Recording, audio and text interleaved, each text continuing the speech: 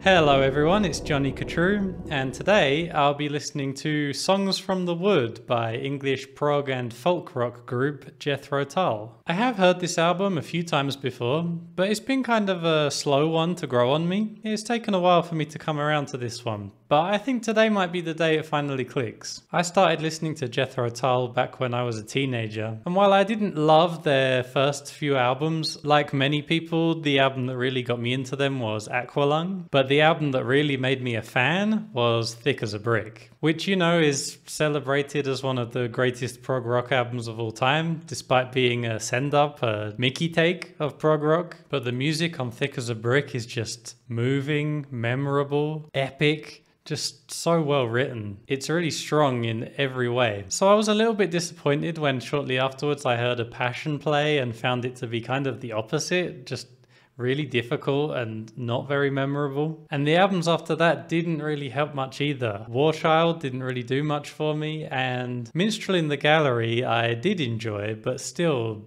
not to the level of Thick as a Brick or even Aqualung or some of the stuff that came before it. So at some point I decided just to skip straight to Songs from the Wood because the album seems to be pretty well loved. But yeah, on first listen, I was still a bit lukewarm to it. I definitely got more out of it than I did something like A Passion Play or War Child, but it certainly didn't blow me away like I was hoping based on its reputation. So I took another break from Jethro Tull, which this time ended up lasting several years. But after hearing Thick as a brick again recently and being devastated by its perfection, I felt compelled to give Songs from the Wood another try and try to continue my journey with Jethro Tull. And what do you know, I enjoyed it quite a bit especially certain tracks, which we'll get into. So today I want to listen to it once again as a whole album, and at the end I'll give my final rating for the album. For calibration, Thick as a Brick, on some days it's a 10 out of 10, 9 out of 10. Aqualung is an 8 out of 10. And you know, Minstrel in the Gallery, maybe that's a 6 out of 10. War Child, a 5 out of 10. So let's see where Songs from the Wood ends up landing for me on that scale. If you enjoyed the video, please click the like button for me.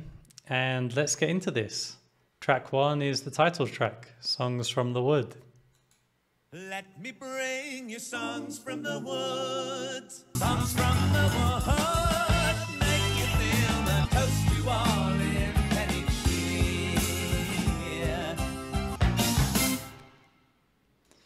Okay, so the intro of this song sounds pretty much as you would expect it to, you know, based on the title and the album cover Old English Folk. But once the whole band comes in, it shows that Jethro Tull haven't forsaken prog completely to go full on folk. Not at all. The band sounds heavy and tight, as they always have. And this is the 40th anniversary Steven Wilson mix I'm listening to, which of course sounds fantastic. It wasn't the version that I first listened to years back when I first heard this album. That would have been the previous remaster that I bought on CD like 10 years ago or something, which sounded alright but this version just sounds so much clearer and it really helps the music come to life. I'm not crazy about the synthesizer sound. I think it's a polymoog. It's quite a common sound that starts popping up in albums from the late 1970s. For example, Going for the One by Yes, incredible album but I'm not keen on that Polymoog synthesizer sound. Still, on this Jethro Tull track, it's not the main focus by any means. It's just kind of used to colour in a bit, but still, I could probably do without it. I miss the old Hammond organ. But the overall sound is still beefy and pure Tull. The melodies are fun and memorable, but I wouldn't say they moved me too much, especially not past the introduction, which in my experience is fairly typical of late 70s Jethro Tull compared to the early, early 70s stuff, which was often quite emotional. But yeah, overall, Songs from the Wood is a cool song that functions really well as an opening track. I'd probably give it a 7 out of 10. Next song is track 2, it's called Jack in the Green.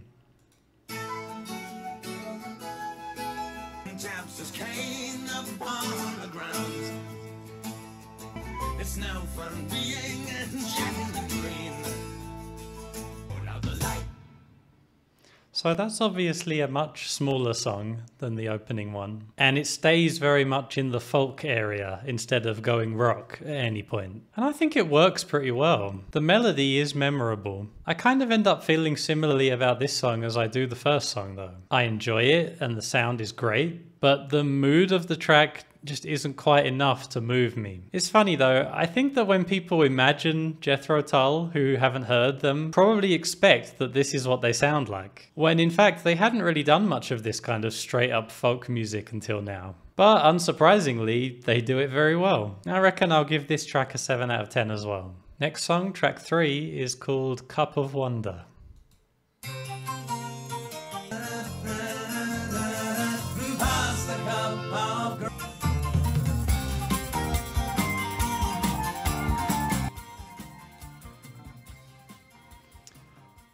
So I love that main riff in this song. I think it's taken a few listens for it to grow on me though. I think maybe when I first heard the album, I just thought it wasn't anything special. But yeah, I've really come around to it. It has the folk rock vibe of something Fairport Convention would have done in their more upbeat moments, or Jethro Tull themselves. It's really catchy and a little bit groovy. And I would say this song even touches slightly on the magic of Thick as a Brick with its variety in its moods and riffs. I guess I only wish that Ian Anderson would just push his vocals a little bit harder. Five years earlier, I'm pretty sure he would have just put a little bit more grit into a song like this. Still, I have a whole lot of fun with this song. It's very memorable, and it's probably my favourite track so far.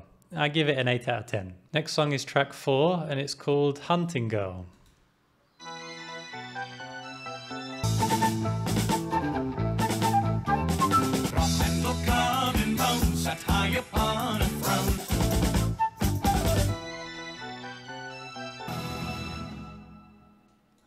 So I love the medieval sounding motifs in this song. The polymoog actually works quite well in this context, and we've got some really fine playing from the whole band on that song. Lots of great flute parts, of course, but Martin Barre also contributed some really nice harmonized lead guitars. Unfortunately, I would still say I'm not crazy about the melody of this song.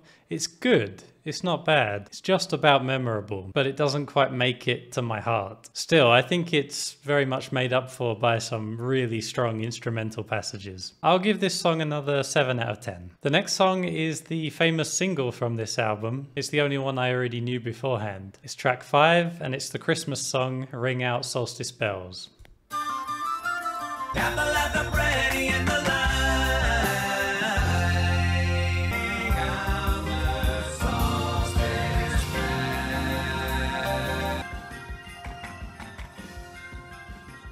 I actually really like that song.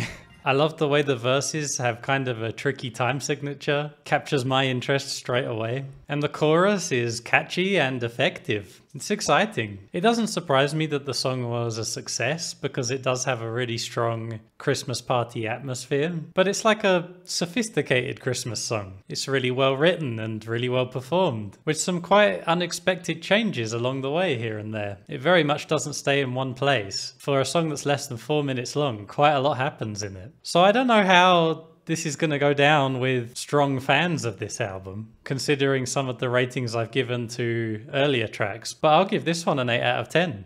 It's a great song. Now, the next song is track 6, and it's called Velvet Green. Who's a young girl's and an old?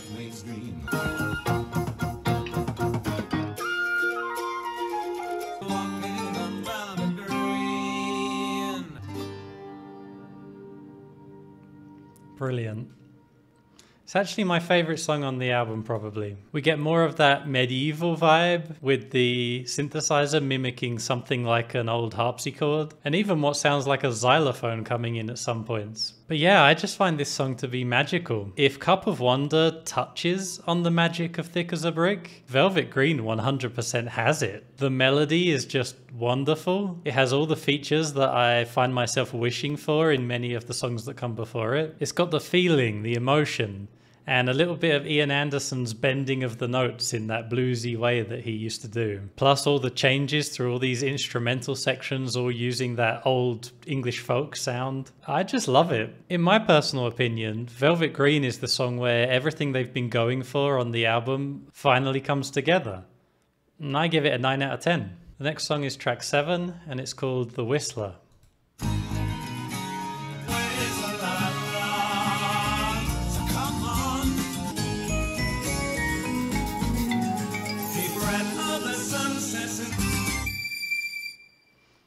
Okay, so I have kind of mixed feelings on this song. It does a really great job of transitioning from Velvet Green, keeping that old folk atmosphere intact. But obviously, this one is a more concise, catchy tune. I adore the emotionally potent verse, and the chorus is catchy and upbeat. The only problem I have is that for me, they don't entirely work together. I always end up feeling just a little bit disappointed when it transitions from the minor key verse into the more trivial sounding chorus. So yeah, I love all the parts of this song, but as a complete song, it's let down slightly for me. It's so almost an 8 out of 10. But I think because of how I end up feeling about the song overall, it ends up as a 7 out of 10 for me. The next song is the longest song on the album, track 8, and it's called Pibroch, Cap in Hand.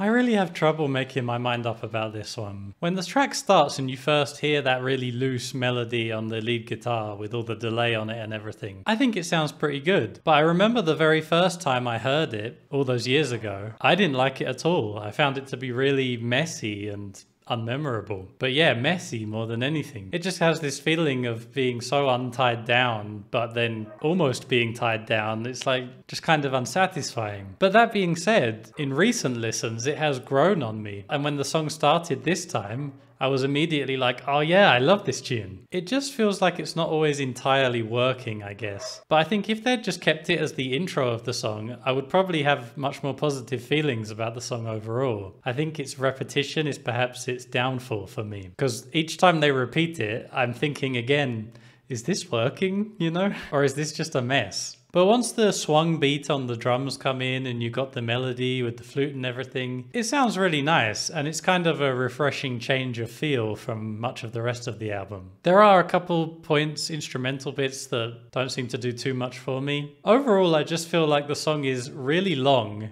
and doesn't really earn it for me. But there are certain parts of it that I, I do enjoy quite a bit. So yeah, this one is a hard one to rate. It's quite difficult to get my feelings straight on it. And I suppose I was hoping that getting to this point, listened to it quite a few times now, I would have my feelings together, but I'm still quite mixed on this song. But yeah, I think in the end, I have to land on the fact that overall there's plenty to enjoy in it, but I don't think it works as a whole.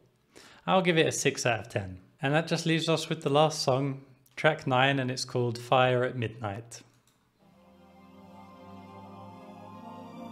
Take off your makeup, fold your clothes neatly away.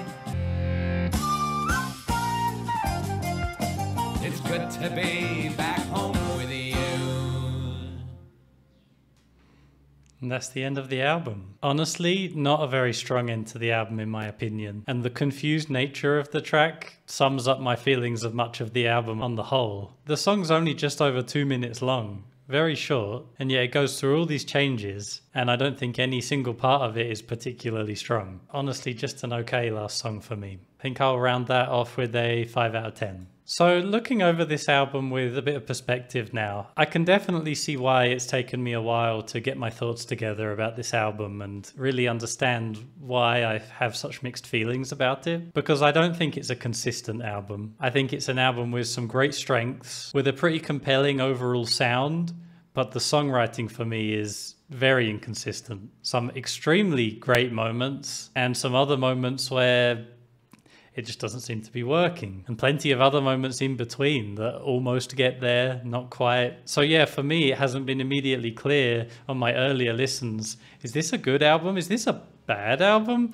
the truth is, it's everywhere in between. And the quality really does range from the extreme heights that they hit on Aqualung and Thick as a Brick being represented in stuff like Velvet Green and the somewhat dull and often really unmemorable melody writing that I already heard on stuff like War Child, popping up here and there in some of the other tracks. And yeah, when we were at the point of Velvet Green and even The Whistler, I was thinking, you know what? On the whole, this is a really strong album. But yeah, for me, the last two tracks definitely let it down quite a bit. But yeah, when I think back to the strongest songs on the album, I do end up having overall positive feelings about it. And you know, Velvet Green has always been my favorite song since I very first heard the album. But I'm glad to say that not only has it stayed my favorite song, it's actually grown on me even more. And now I think it's one of Jethro Tull's best songs, even. I think the track that's grown on me the most is probably Cup of Wonder, which earlier on didn't do too much for me, but has become quite a big favourite of mine. And Ring Out Solstice Bells, I always liked it, but I guess I feel I haven't always been fully honest with myself about how much I like it. But now I'm like, Oh, that's a great song. So yeah, I do feel overall pretty satisfied with this album and it has reignited my interest in the band. I look forward to at some point listening to the follow-up Heavy Horses and its accompanying live album Bursting Out. And on the whole, I'd say I'll give Songs from the Wood a 7 out of 10. So please follow me over on twitch.tv slash Jonny we're doing listening parties, listening to full albums that we cover on the channel, plus listening to new singles that come out, sharing my thoughts with you on that, and you can chat with me about whatever we're listening to. If you enjoy my content, please consider supporting me with the link in the description to buy me a coffee. It really helps me to be able to keep making these videos and keep my channel going, so I really appreciate it. And thank you very much for watching. Until next time, take it easy.